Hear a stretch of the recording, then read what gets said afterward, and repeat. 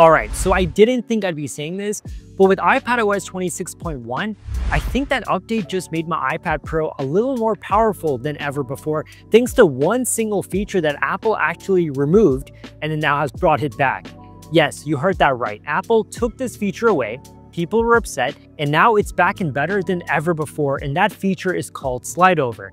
And in today's video, I'm going to show you what's new with Slide Over with iPadOS 26.1, how it enhances multitasking, and why I honestly think that this update though might sound small, is actually one that builds upon the multitasking features that the iPad received with iPadOS 26. You see, when iPadOS 26 launched earlier this year, it introduced a brand new windowing system, something that iPad users have wanted for years. You could finally move, resize, and layer windows more like a Mac. And while that was great, it came with a huge trade-off.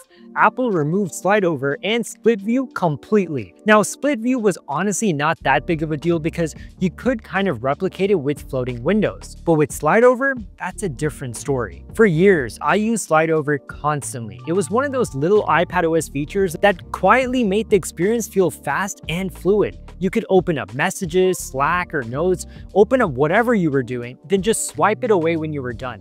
No clutter, no interruptions. Now with iPadOS 26, multitasking felt powerful and more like a Mac than ever before. And though I love it, it does get slightly overwhelming at times. And there were some moments where I really missed slide over because sometimes I don't want to be digging for certain applications. I just wanted to slide out where I can get the useful information that I need and slide it back when I'm not using it. It's also helpful to have that useful information or app pinned on top of all the others. So when Apple removed slide over with iPadOS 26 Beta 1, I thought maybe it was a glitch and that maybe we'd get it in future betas of iPadOS 26, but no, even with the final release of iPadOS 26 in September, we didn't get it. But thankfully, with iPadOS 26.1, Slide Over is back and it's integrated beautifully into the new windowing system. Let me first show you how it works. You can get any open window as a slide over by long pressing the green window controls button at the top of the screen and tapping enter slide over. Once activated, the app floats above your workspace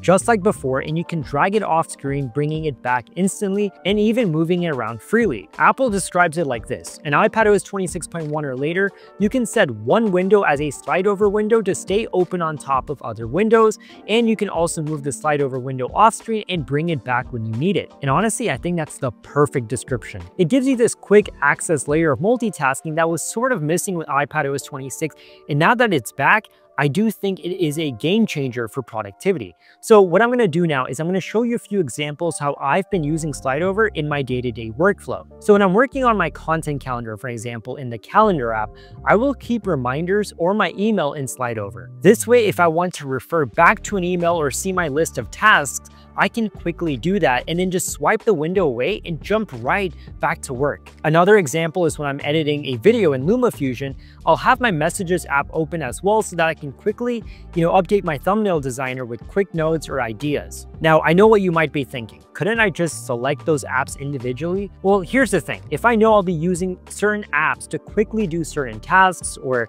looking up information, it's much easier to slide the app out rather than switching screens because I don't need those specific apps all the time on my display. You see, the magic here is in the flexibility. You can pop in and out of apps instantly without cluttering your workspace or losing focus. Now with the keyboard shortcut of globe plus backslash, I can summon slide over anytime I want. Before this update, I actually tried to simulate slide over by resizing my notes app to a narrow side window, but to be honest, it wasn't the same. It took up space, didn't stay pinned on top, and it would disappear if I switched apps. I basically had to choose between having it visible all the time or not at all. But with real slide over being back, I can hide it completely when I don't need it and bring it back in an instant when I want it. Oh, and there are two new things with slide over that we didn't have previously. First off, you're not limited by size. You can literally adjust the size of a slide over app to your preference. Second, you don't need to have it on the right side of your display. You can literally put it on any side and that makes it really convenient and useful. However, it's not perfect. There is one limitation right now that I hope Apple addresses soon. You see, in iPadOS 18, you could actually stack multiple apps together inside SlideOver They were all accessible with a quick swipe. That's gone for now, and iPadOS 26.1 Slide Over only supports a single app at a time.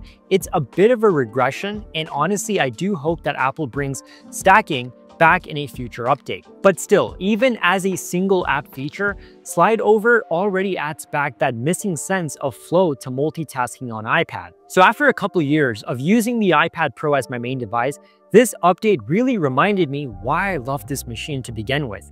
It's powerful, portable, and now with Slide Over back, it's finally regaining the fluid multitasking that makes it stand out from a laptop. It's funny because Apple built the whole advanced windowing system to make the iPad feel more like a Mac, but a feature that makes it very powerful and unique is a feature like slide over, and that's something that you only get with the iPad, not a Mac. Slide over is part of what made the iPad's user experience special in the first place. So yeah, iPadOS 26.1 doesn't really reinvent the wheel, it just brought back a feature that we desperately needed. And now with Slide Over's return, my iPad Pro feels faster, lighter, and way more powerful for multitasking than it did just a few weeks ago. I am hoping that future updates add stacked slide overs and maybe even smarter controls for managing them, but for now, I'm quite impressed. Now, if you've updated to iPadOS 26.1, let me know in the comments, does slide over make a difference in your workflow? I'm honestly very eager to know, and if you found this video helpful, give it a thumbs up, subscribe for more iPad and Apple content, and I'll catch you in the next one.